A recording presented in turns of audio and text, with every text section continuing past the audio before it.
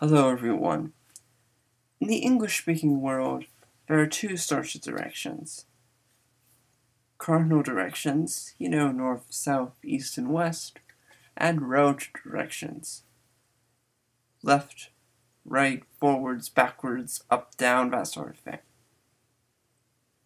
The problem, there are problems with this.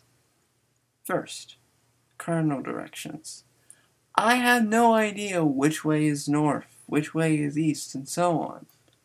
It is an Australian language, it is Guugu Yimithirr, called Guugu this is not a problem. There are no words for left, right, forward, and backward. So for example, right now, I have a north foot and a south foot. I think.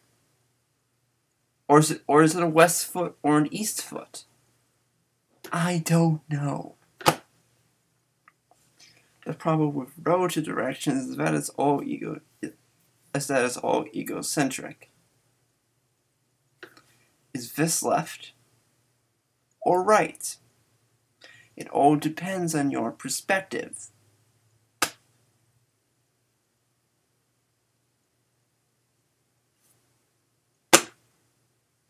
Bye.